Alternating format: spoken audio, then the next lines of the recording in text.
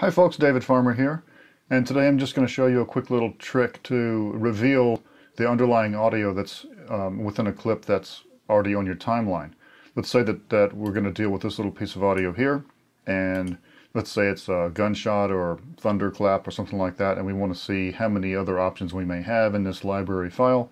So we may go in here and pull out this like this, or check out the beginning, you know, to see what other options are there.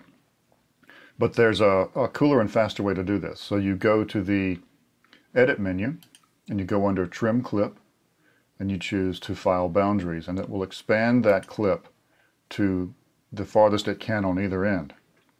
Now, consequently, you can do to the head of the clip or to the end of the clip. Uh, file Start goes to the head, and to File End goes to the tail. And you may wonder what happens if you have, you know, clips on the boundaries. You may not want to do that so you overwrite these other audio clips. But you don't have to worry about that because it doesn't expand over top of audio that's already on the timeline. You see that? So that's kind of a safety mechanism there. So you're free to use this without worrying of overwriting things that are already on the timeline.